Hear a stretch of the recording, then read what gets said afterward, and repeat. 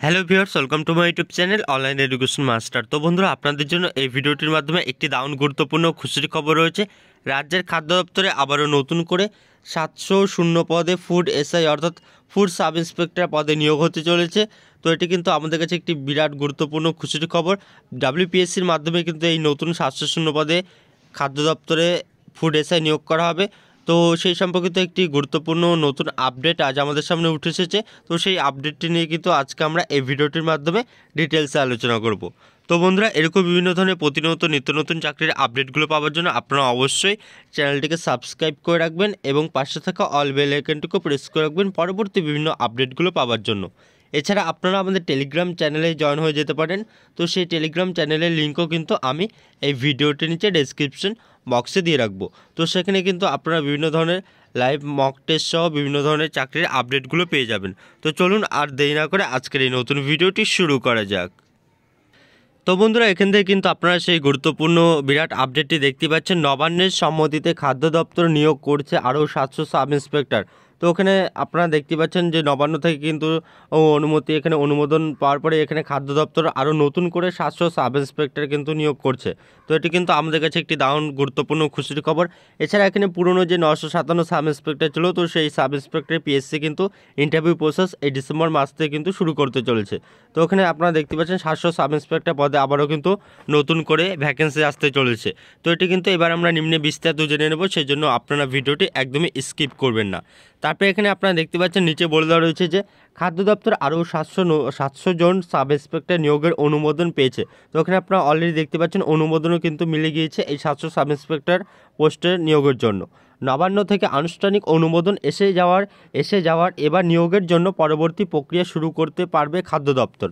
Sub inspector পদে নিয়োগ নিয়োগ রাজ্য পাবলিক সার্ভিস কমিশনে নেওয়া লিখিত ও ইন্টারভিউর মাধ্যমে হয়। তো ওখানে ডাব্লিউপিএসসি যে সাব ইন্সপেক্টর, তো সেই ফুড সাব ইন্সপেক্টর পরীক্ষা কিন্তু ডাব্লিউপিএসসি কিংবা West Bengal public service commission নেওয়া হয়। তো সেই ডাব্লিউপিএসসির মাধ্যমে কিন্তু লিখিত এবং ইন্টারভিউর মাধ্যমে এই ফুড এসে নিয়োগ করা হয়। খাদ্য দপ্তর থেকে নিয়োগের প্রস্তাব গেলে পিএসসি পরীক্ষা নেওয়ার ব্যবস্থা করে।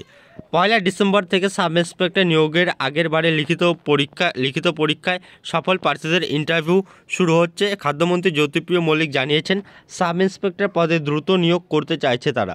আগামী পনেরো ডিসেম্বর পর্যন্ত ইন্টারভিউ নেবে পিএসসি। জানুয়ারি মাসের গোড়াতেই সফল চাকরি প্রাপকদের তালিকা চূড়ান্ত হয়ে যাবে বলে খাদ্য দপ্তরের আধিকারিকরা আশা করছেন। তো ওখানে বলে দেওয়া রয়েছে যে, ফাইনাল যে রেজাল্ট ফুড এসআই দু সালে যে বিজ্ঞপ্তিটি বেরিয়েছিল নশো সাতান্ন পোস্টের জন্য, তো সেই নশো সাতান্ন শূন্য পদের ফাইনাল রেজাল্ট ইন্টারভিউর পরে, তো সেটি কিন্তু জানুয়ারি মাসের গোড়াতেই কিন্তু পাবলিশ করে দেওয়া হবে। এখানে আপনারা দেখতেই পাচ্ছেন। তারপরে বলে রয়েছে যে, তারপরেই নতুন চাকরি প্রার্থীদের দ্রুত কাজে যোগদানের ব্যবস্থা করবে দপ্তর। এখন যে ইন্টারভিউ শুরু হয়েছে, তার মধ্যে প্রায় নশো পঞ্চাশ জনকে সাব ইন্সপেক্টর পদে নিয়োগ করবে খাদ্য দপ্তর। লিখিত পরীক্ষায় প্রায় তিন হাজার জন চাকরি প্রার্থী সফল হয়েছেন। তারা এবার ইন্টারভিউ দেবেন। লিখিত পরীক্ষা ও ইন্টারভিউতে প্রাপ্ত নম্বরের ভিত্তিতে সফল চাকরি প্রাপকদের চূড়ান্ত তালিকা তৈরি হবে। মাল্টিপল চয়েস লিখিত পরীক্ষায় একশো নম্বর ছিল, অর্থাৎ এমসিকিউ পেপার আমরা জানি ডাব্লিউপিএসসি পরীক্ষা নিয়েছিল, তো এই পরীক্ষায় কিন্তু এমসিকিউ ফুড এসে মোট একশোটি কোশ্চেন ছিল, আর ইন্টারভিউ কিন্তু ছিল কুড়ি নাম্বার। তারপরে এখানে বলে দেওয়া হচ্ছে যে খাদ্য দপ্তরে বিভিন্ন কাজকর্মের ক্ষেত্রে সাব ইন্সপেক্টরদের গুরুত্বপূর্ণ ভূমিকা থাকে। বাস্তবে দপ্তরের চোখ কান হিসাবে এই কর্মীরাই কাজ করেন রেশন ডিলার ও ডিস্ট্রিবিউটারদের কাজকর্মে নজরদারি। রেশন কার্ড তৈরির প্রক্রিয়া চাষিদের কাছ থেকে ধান কেনা, রাইস মিলে নজরদারি সব কিছুর ভূমিকা থাকে কিন্তু এই কর্মীদের। কিন্তু এই গুরুত্বপূর্ণ কাজে বহু শূন্যপদ আছে।